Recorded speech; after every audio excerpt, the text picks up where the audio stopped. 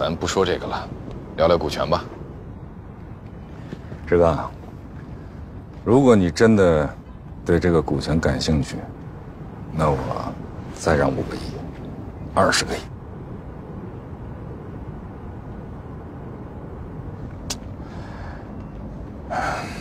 说句实话，毕弟，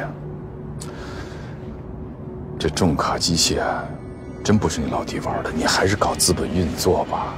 这重卡机械制造也是既累人又大量的沉淀资金，所以老同学，你就主动来找我，苦口婆心的让我退出。我是不好和你直说，怕你误会嘛。我没误会，我怎么会误会呢？你这一步步棋下的呀，我看得很清楚。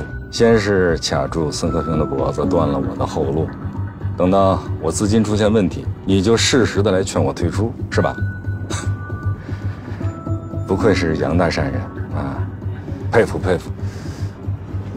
毕竟啊，你要这么说，咱这生意可没得谈了啊。